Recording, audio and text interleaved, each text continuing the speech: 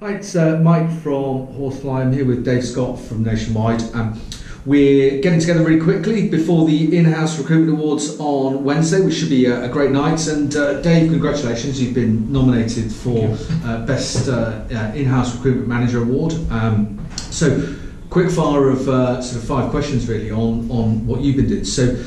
Number one, what's um, some of the tools and processes that you've put in place that you think give you a competitive advantage? No, absolutely. I mean, from, from my side, uh, it's been a really exciting 12 months.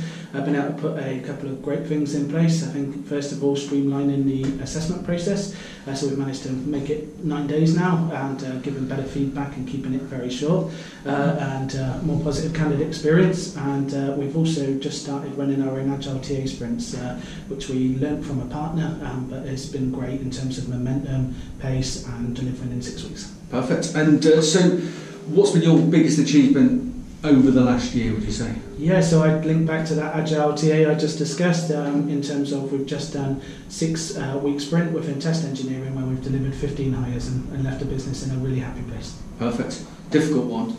If you do one thing, what would you improve? Uh, so I think I probably improved my organisational skills. Um, I think at times uh, my teams would probably agree that, that reporting to me that uh, uh, my diary management's not the best and uh, yeah, staying on top of it. Busy man in recruitment, right? So- Yeah, that's it. Um, and, okay, so, so what, what keeps you awake at night? What are your challenges, Dave? Uh, so I'd have to say Apigee engineers. Um, they they Loads trying to, fi- trying to find them is, is a is a real challenge. It definitely keeps me up at night. Yeah. So, so look, obviously you've been recognised as sort of, uh, you know, uh, a a great achievement, sort of uh, being nominated for, for the eight finalists that we've got. Um, what what are you going to keep doing to push yourself to become, you know, better next year?